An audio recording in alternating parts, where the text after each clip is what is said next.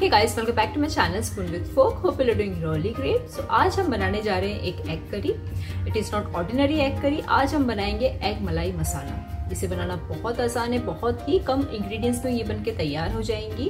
And another easy and quick recipe it is चलिए फिर फटाफट से बनाना शुरू करते हैं. लेट्स गेट स्टार्टेड यहाँ पे मैंने चार बड़े साइज़ का प्याज ले लिया है जिसे मैंने रफली चॉप किया है और पाँच लिया है हरी मिर्च. मिर्च अपने हिसाब से कम ज़्यादा कर सकते हैं. इन दोनों को हमें एकदम बारीक पीस लेना है. यहाँ पे आप देख सकते हैं, इसे मैंने एकदम बारीक पीस लिया है। यहाँ पे मैंने आठ उबले हुए अंडे लिए हैं, जिसे मैंने इस तरह से स्लाइसेस में कट कर लिया है।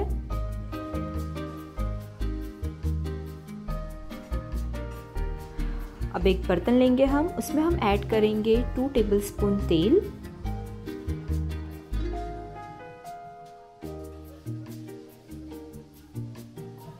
इसी के साथ इसमें हम ऐड करेंगे वन टेबल स्पून बटर जब ये अच्छी तरह से गर्म हो जाएगा, गैस की फ्लेम हम कर देंगे लो और इसमें हम ऐड करेंगे छः से सात करी पत्ता और थ्री टेबल स्पून अदरक लहसन का पेस्ट इसे हमें एक मिनट के लिए भून लेना है लो फ्लेम पर।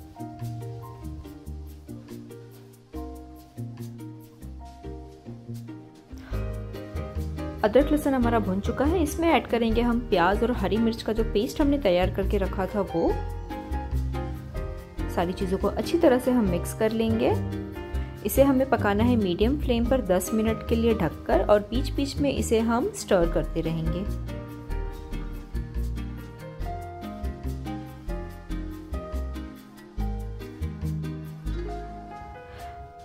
यहाँ पे आप देख सकते हैं, प्याज हमारा काफ़ी अच्छी तरह से भून चुका है और इसका कलर भी चेंज हो चुका है।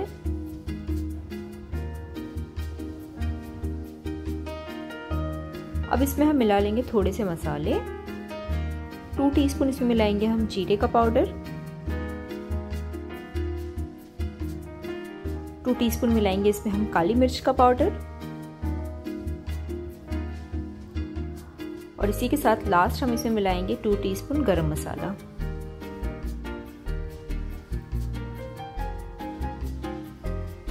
अब इसे हम एक बार मिक्स कर लेंगे। मिक्स करने के बाद गैस की फ्लेम हम कर देंगे ऑफ़ और इसमें हम मिलाएँगे दो कप दूध।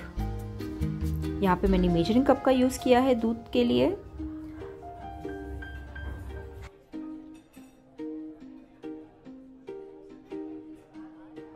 दूध मिलाने के बाद इसे एक बार और हम अच्छी तरह से मिक्स कर लेंगे।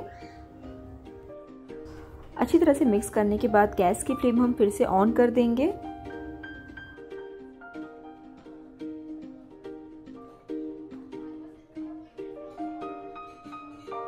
अब इसे हम दो से तीन मिनट के लिए लो फ्लेम पे पकाएँगे जब तक मसालों से तेल अलग ना हो जाए।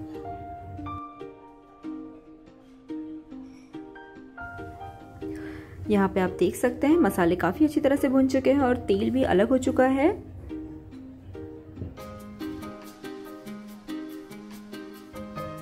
अब इसमें हम अंडे रख देंगे जो हमने उबाल के रखा था।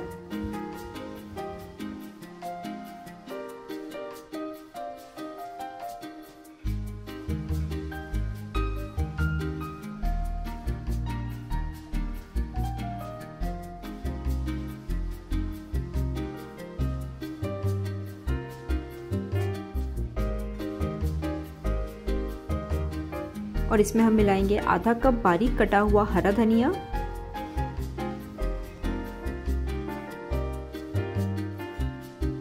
नमक मिला लेंगे इसमें हम स्वाद अनुसार। नमक मिलाने के बाद इसे हमें हल्के हाथों से मिक्स कर लेना है।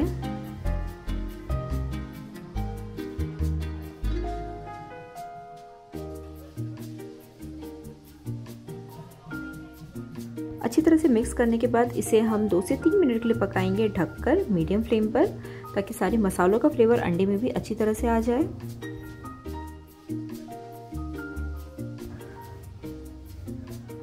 दो से तीन मिनट के बाद आप देख सकते हैं, ये काफ़ी अच्छी तरह से बनके तैयार हो चुका है। एक बार और इसे हम मिक्स कर लेंगे, हल्के हाथों से ही।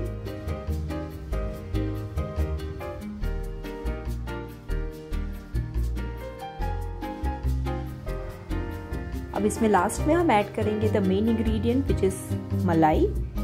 So यहाँ मैंने ऐड किया है three two four tablespoon fresh cream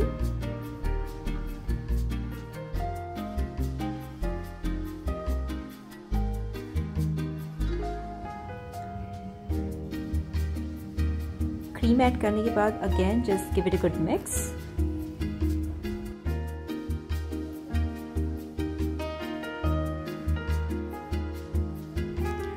now it is done हमारा एग मलाई मसाला या एग मसाला मलाई, आप कह सकते हैं इसे बनके तैयार है।